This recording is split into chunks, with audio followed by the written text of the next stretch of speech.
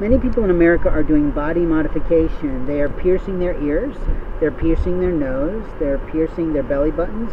Some of them are even piercing, well, down there. God forbid, it's got to hurt like hell. But the point is that people are also tattooing their bodies, they're changing their look. Some people are removing their chests. Some people are trying to look like Ken dolls. Some people are trying to look like cats. And those people are never mental health for anything like that. And yet there are people in the police force who think that they have rights to know about your medical rights, to know about your privacy rights, to see your records.